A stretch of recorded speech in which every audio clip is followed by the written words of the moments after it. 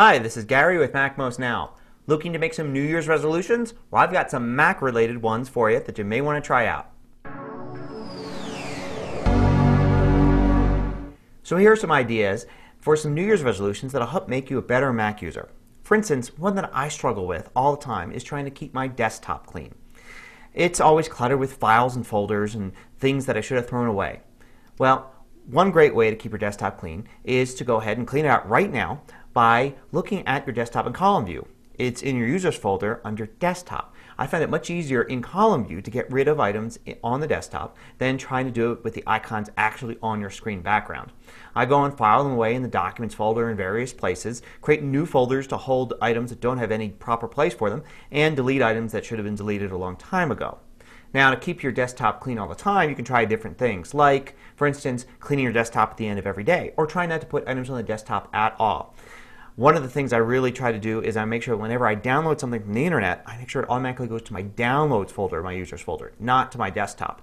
So everything's filed away neatly in there and doesn't clutter my desktop. And also, I try to make sure if I create a file and I stick it on my desktop temporarily, that almost immediately when I'm done creating it, I go ahead and find a new place for it in my documents folder or a new folder that I create. Another good New Year's resolution is to make sure that you back up routinely. Having a good backup routine is very important. Now, if you already have Leopard, then you have Time Machine. So if you're not backing up a Time Machine because you don't have an external drive, now's a good time to go and invest in one. Go and buy one pretty cheap. You can get it for under 100 bucks and start hooking up to your machine all the time so that it backs up. If you don't want to use Time Machine, there's a lot of other different programs you can use out there to back up. As long as you back up, you're good. A lot of people don't realize this until the first time they have a hard drive failure or lose a critical file and then they start backing up. Don't let that be you. Start backing up now before you have a problem. Now, if you commonly surf the internet on your MacBook at Wi Fi hotspots like at coffee shops or at hotels, you want to be very aware of internet security. And you want to go ahead and protect yourself. Episode number 48 and episode number 66 of MacMost Now give some suggestions for this. You want to do this before you get something stolen, like passwords or credit card numbers. Another good resolution is to resolve to always keep your Mac up to date. I'm amazed at how many Mac users just ignore software update or have it turned off or just continuously put it off.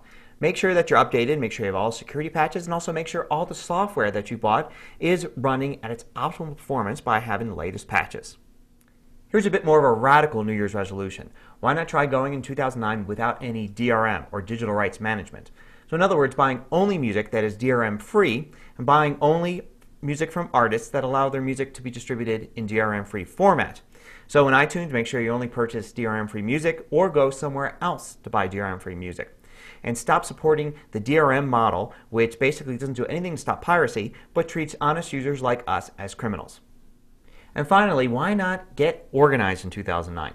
You've got a Mac, which is a great tool for organizing your life and work. So go ahead and look for some tools that will help you do this. For instance, go to the apple.com website in the software download section and look at the productivity tools. There's tons of great pieces of software that may fit your needs for personal organization.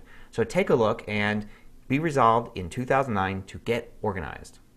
This is Gary from MacMost Now wishing you a Happy New Year. Thanks for watching.